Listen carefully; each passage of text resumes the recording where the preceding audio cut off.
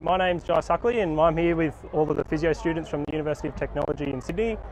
Um, so we're here over the weekend supplying a bit of massage and strapping for all the players that are going to be involved in the weekend of the Koori Knockout. Um, so if you want to come down and, and have, get anything strapped, we're here to just to help whatever you want. Um, so if you bring your own strapping, then that's fine. We can just tape you. That's all good. Um, but if we do have strapping tape here, we just require a dollar coin donation if you um, if you want to get something strapped. But yeah, we're pretty much here just helping out whatever you guys need over the weekend.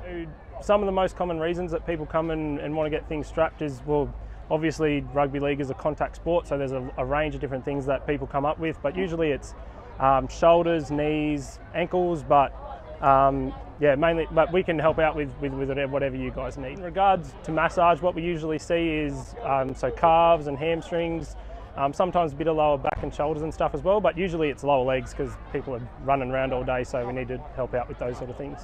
This is sort of the first time I've been involved in an event like this, so I'm not fully sure how many sort of massage and strapping and stuff like that we do. Uh, we do expect to be a bit busier tomorrow because the older blokes tend to be a bit more injured.